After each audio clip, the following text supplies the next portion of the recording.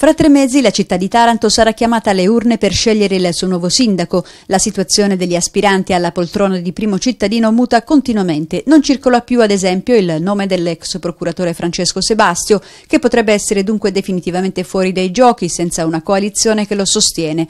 Il presidente dell'Ordine dei Medici, Cosimo Nume, indicato quale espressione del governatore di Puglia, Emiliano, e del consigliere regionale Gianni Liviano, non ha dato la sua disponibilità.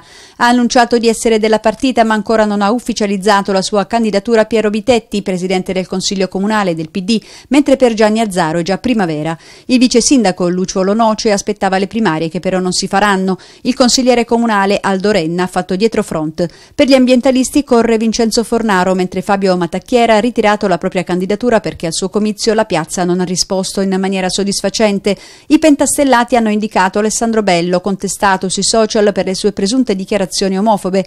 La candidatura più fresca è quella di Massimo Brandimarte che, accettando l'invito a partecipare alla competizione elettorale ricevuto dagli SDS, ha rinunciato ad un'altra candidatura altrettanto prestigiosa, quella di garante regionale dei detenuti che lo vedeva favorito. Ha messo da parte dunque gli interessi personali affidandosi a Dio in questa appena iniziata campagna elettorale, come ha scritto nella lettera in cui ha ufficializzato la sua candidatura.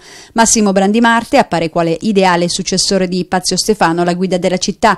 Una lunga carriera la sua che lo ha visto pretore civile civile, penale, del lavoro, giudice per le indagini preliminari di pretura e di tribunale, giudice tutelare, garante dei diritti dei minorenni e dei soggetti appartenenti alle fasce deboli. I suoi ideali sono verità, giustizia, rispetto dell'ambiente e del territorio, legalità, onestà, solidarietà, lotta a sprechi e privilegi. I giochi sono aperti, l'ultima parola, come sempre, spetta ai cittadini.